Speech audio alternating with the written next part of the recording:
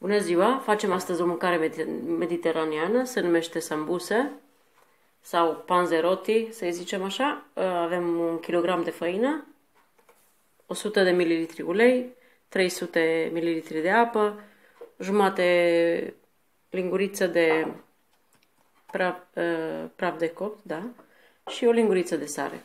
Ne apucăm de lucru. Punem sarea și praful de copt amestecăm și o să punem treptat apa. Apa este călduță. Avem nevoie de un aluat tare și umplutura va fi de carne cu ceapă și pătrunjel.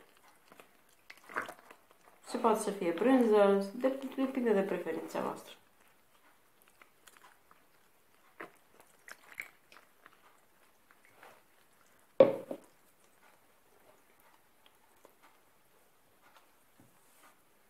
Continui așa până termin apa.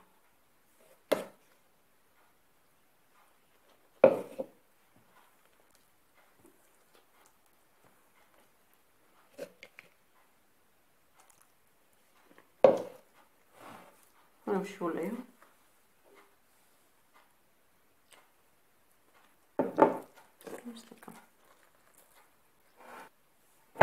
O să scot pe masă.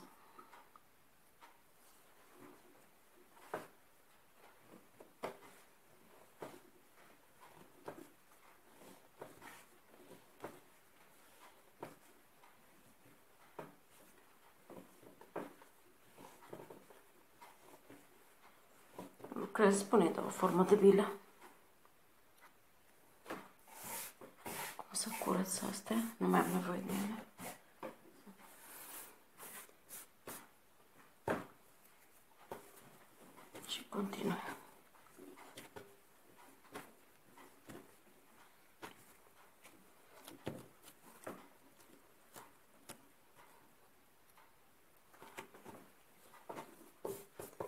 Trebuie lucrat mult doar ca să-l omogenizez. O să un bun bol cu ulei, îl pun în bol la copăr și las să se odihnească o oră. Așa arată alături, este destul de tare și nu e lipicios. Am un sumbol cu ulei, să-l pun pe amândouă părțile ulei și să-l acopăr cu o folie. O să las să iască o oră. Între timp să fac carne. Prăjim puțin ceapa, 2-3 minute și punem carne. Am pus și carne. Nu este cu grăsime,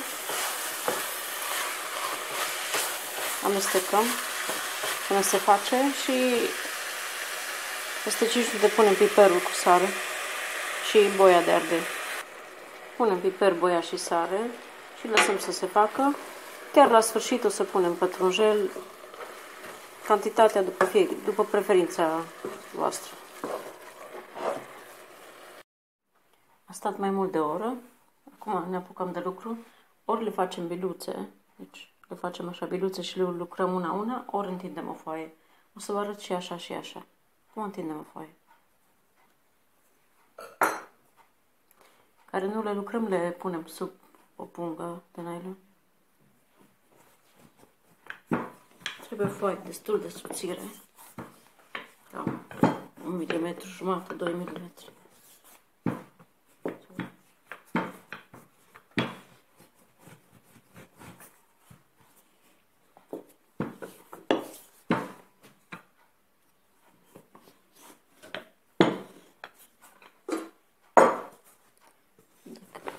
Dacă vă este greu să întindeți o foaie, faceți așa biluțe și le întindeți biluță cu biluță. Acum trăim cu un pahar mai mare. Surplusul o să lucrăm și lăsăm din nou să odihnească Acum nu se mai poate lucra. Ne punem degetul în apă și udăm de jur împrejur să se lipească.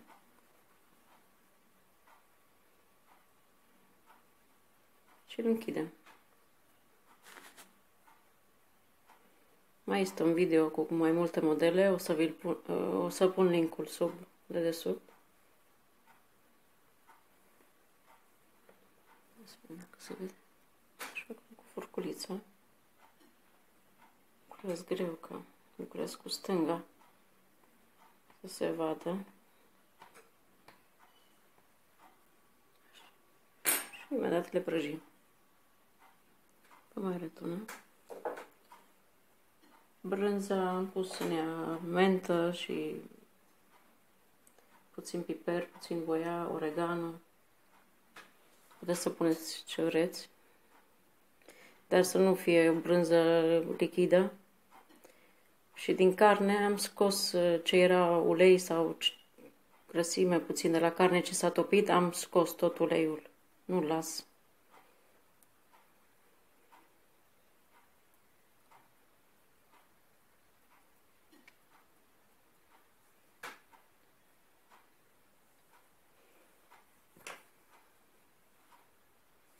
Și le punem sub un nylon să nu se usuce. Ele oricum nu sunt foarte umede. O rutină, arăt una mai mică pentru ravioli. O să fac peste câteva zile și să vedeți. Deci atunci nu o să mai fac aluat. Asta se pune și pune și la congelator. Efectiv, capetele și le unesc.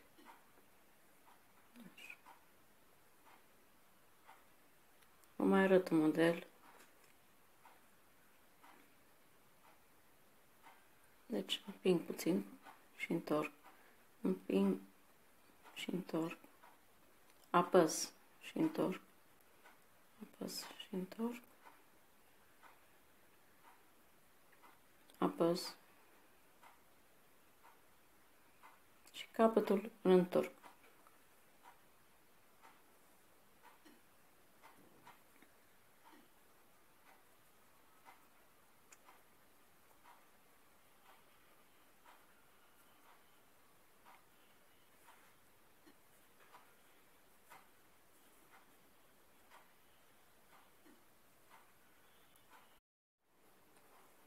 Nu le incizi, ne apucăm de prăjit.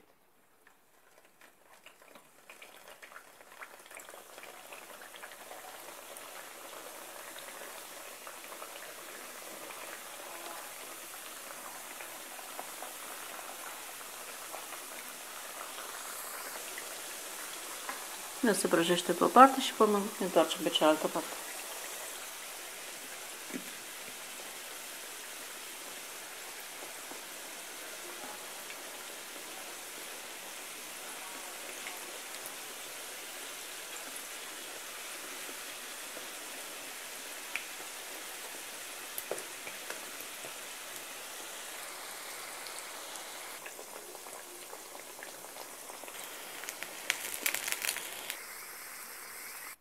Am terminat.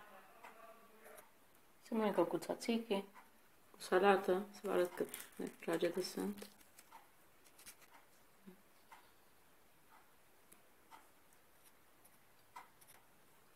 Brânza. Sper să-l faceți. Este foarte bun. Celelalte se pot păstra la freezer.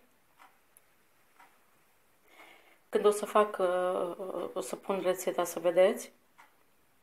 Sper că v-a plăcut rețeta și vă mulțumesc că m-ați urmărit și la revedere!